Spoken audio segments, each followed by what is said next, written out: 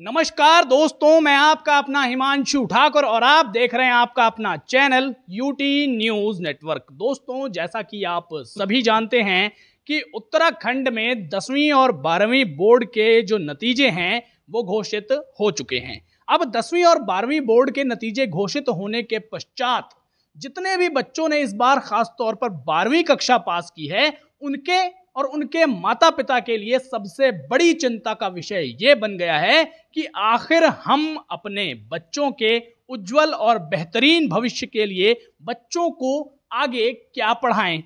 कौन सा कोर्स कराएँ? कौन सा डिप्लोमा, डिग्री या किस कोर्स में एडमिशन दिलाएँ? और सबसे बड़ी चुनौती, एडमिशन तो दिलाना ही है, लेकिन एडमिशन कहाँ दिलाएँ? कौन से कॉलेज में दिलाएँ, जहाँ से हमें हमारे बच्चे के उज्जवल भविष्य की गारंटी भी शत प्रतिशत मिल रही हो।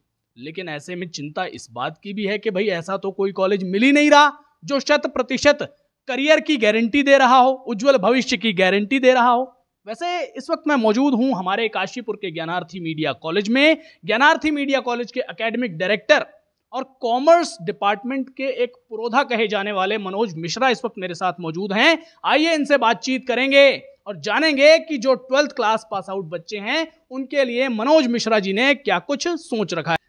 हिमांशु भाई आपका बहुत बहुत धन्यवाद। सबसे पहले तो मैं आज सफल हुए बच्चे जो कक्षा दसवीं में और कक्षा बारहवीं में जो बच्चे उत्तराखंड बोर्ड के हैं जितने भी विद्यार्थी सफल हुए हैं उनको बहुत बहुत बधाई और उनके उज्जवल भविष्य के लिए मेरी बहुत सारी शुभकामनाएँ। ज्ञानार्थी मीडिया कॉलेज की ओर से और हमारे समस्त मैनेजमेंट की ओर से इन सभी बच्चों को बहुत बहुत बधाई एवं शुभकामनाएँ।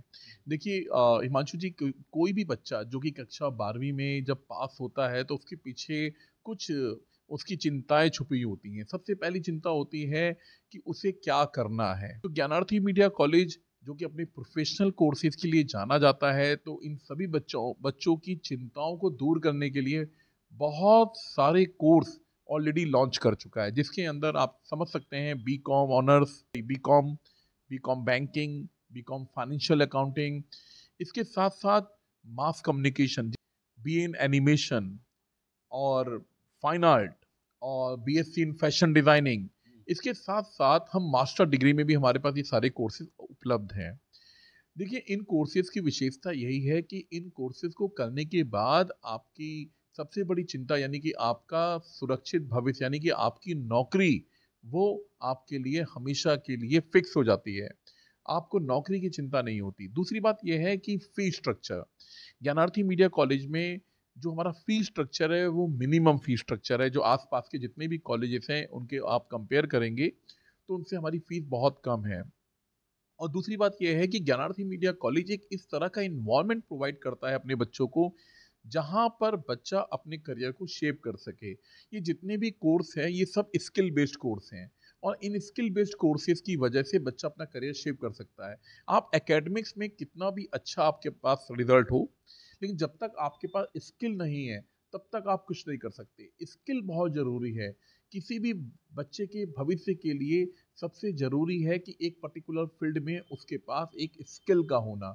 यदि आपके पास हुनर है तो आप हमेशा आगे बढ़ते चले जाते हैं। मैंने बहुत सारे ऐसे बच्चों को देखा है, जिनके पास डिग्रीज का भरमार है, डिग्री भरी हुई है, लेकिन उनको जॉब नहीं मिल रही है। उसके पीछे कारण सिर्फ़ यही है कि उनके पास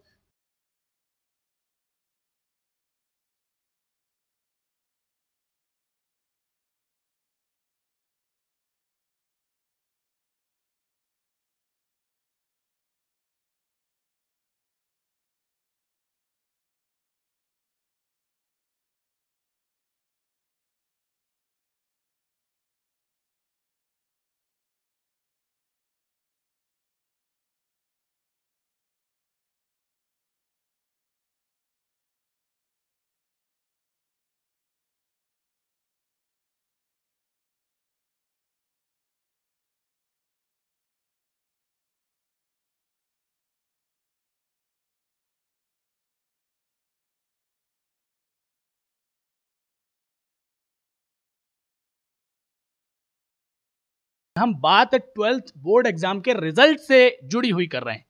मैं ये मानता हूँ और मैं ये कह सकता हूँ कि जितना कंफ्यूजन एक टीनेजर की लाइफ में होता है, चाहे वो करियर से संबंधी हो, चाहे वो पढ़ाई से संबंधी हो, चाहे वो पर्सनल लाइफ से संबंधी हो, उतना कन्फ्यूज़न और किसी की लाइफ में नहीं होता। जब बच्चा टेंथ पास आउट करता है तो सबसे बड़ा कन्फ्यूज़न कि भाई आर्ट्स में जाऊँ कॉमर्स में जाऊँ, या साइंस लूँ, क्या करूँ, क्या ना करूँ, कुछ लोग ऐसा कह देते हैं कि भाई आर्ट्स वाले तो मतलब बिल्कुल जो गए गुजरे होते हैं, वो आर्ट्स लिया करते हैं। इस तरीके की बहुत सारी बातें चलती हैं। फिर भी उस कन्फ्यूज़न से कैसे भी लड़ाई, झगड़ा करके जो है, बच्चा कोई ना कोई स्ट्रीम ले लेता है। स्ट्रीम लेने के बाद उसको पता चलता है, अरे यार, मैंने तो गलत स्ट्रीम ले ली, मैं बहकावे में आ गया। अब बहकावे में तो आ गया। अब कुछ नहीं कर सकते। आखिरकार उसी स्ट्रीम के साथ उसने ट्वेल्थ भी पास आउट कर दिया। अब ट्वेल्थ पास आउट करने के बाद किस तरह के बच्चों को कौन सी स्ट्रीम चूज़ करनी चाहिए? इसके लिए कोई बैरियर या फिर कोई ऐसी बाउंडेशन या कुछ ऐसी बात जो आप बता सके कि हाँ भाई आपको इसमें इंटरेस्ट है तो आपको ये स्ट्रीम लेनी चाहिए। देखिए सबसे बड़ी बात क्या है कि कोई भी स्ट्रीम खराब नहीं होती। आप ये नहीं कह सकते कि कॉमर्स का स्कोप ज़्यादा है और आर्ट का कम है और साइंस का बिल्कुल नहीं है हम्म। सबकी अपना अपना महत्व है हम्म। चाहे वो साइंस का हो चाहे कॉमर्स का हो चाहे आर्ट का हो ये सब कुछ डिपेंड करता है बच्चे की अपनी चॉइस पर अगर बच्चा किसी कोर्स में अगर बच्चा किसी एरिया में जाना चाहता है और वो बाई चॉइस जाना चाहता है हम्म। तो मान के चलिए उसी लाइन में उसी स्ट्रीम में वो अपने करियर में टॉप पर पहुँच सकता है हाइक पर पहुँच सकता है उसके करियर में बहुत ज़्यादा उसको जंप मिल सकता है हम्म। होता क्या है कि ये समाज में बहुत सारे हमारे इस तरह के लोग होते हैं जो कई बार बच्चों को भ्रमित कर देते हैं कि तुमने ये सब्जेक्ट लिया तो ये हो जाएगा और ये हो जाएगा ऐसा कुछ नहीं है आप आर्ट साइड लेकर भी यूपीएससी जैसा आप जो टफ एग्जामिनेशन है वो क्लियर कर लेते हैं जो हमारी यूपीएससी क्लियर करके या जितने भी हमारे आई हैं जितने हमारे पी हैं और जितने भी हमारे सरकारी नौकरियों में जो सेवाएँ दे रहे हैं उनमें बहुत सारे बच्चे बहुत बड़ी तादाद आर्ट साइड के बच्चों की होती है। तो ये कहना गलत है कि साइंस का स्कोप या कॉमर्स का स्कोप या आर्ट साइड का कम या ज़्यादा है। स्कोप हम्म। सबका बराबर है। डिपेंड ये करता है बात सबसे ज़्यादा इंपॉर्टेंट ये है कि आपकी इच्छा क्या है आपकी चॉइस क्या है और आपका लाइफ को लेकर आपका गोल क्या है। तो अगर आपका गोल साफ़ सी बात है एनिमेशन डिपार्टमेंट में है तो आप साफ़ सी बात है एनिमेशन ही लेंगे। आपका फाइनेंस में आपका गोल है तो आप फाइनेंस ही करेंगे, यानी बीकॉम ही करेंगे।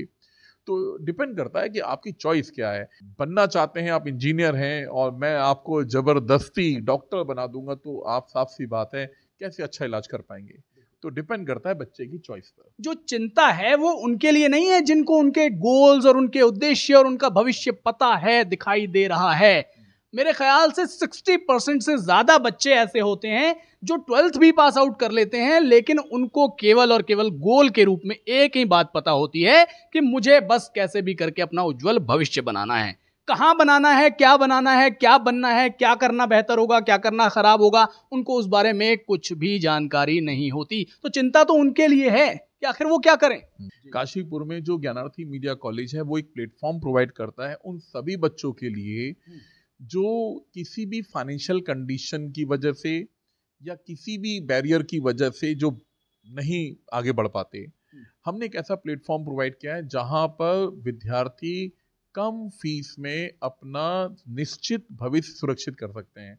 आपके पास अगर प्लेसमेंट आपको चाहिए तो आपको एक कोर्स चाहिए। बिल्कुल। एक ऐसा कोर्स चाहिए एक ऐसी प्रोफेशनल डिग्री चाहिए जिससे आप आगे भविष्य में बढ़ सकें। आप अगर देखें 2014 15 से पहले काशीपुर में एक भी ऐसा कॉलेज नहीं था जो प्रोफेशनल कोर्स कराता था। वो तो ज्ञानार्थी मीडिया कॉलेज के मैनेजमेंट श्री संतोष मेहरोत्रा जी का और जो हमारी सेक्रेटरी हैं शिवानी मेहरोत्रा मैम इनका मैं स्पेशली धन्यवाद देता हूँ कि उन्होंने काशीपुर को ज्ञानार्थी मीडिया जैसा एक अच्छा कॉलेज दिया है, जहाँ पर बच्चे निश्चित रूप से अपना भविष्य सुरक्षित कर सकते हैं। और खाली हमारे पास बच्चा काशीपुर का नहीं आता। मैं आपको बता दूँ हमारे पास बच्चा अफजलगढ़, जसपुर ठाकुर द्वारा बाजपुर, रामनगर, अब तो हल्द्वानी और काला ढूँगी से भी बच्चे आ रहे हैं हमारे यहाँ पढ़ने। हमारे यहाँ कितने सारे बच्चे फाइन आर्ट के हैं जो अल्मोड़ा, पिथौरागढ़ और नैनीताल के हैं?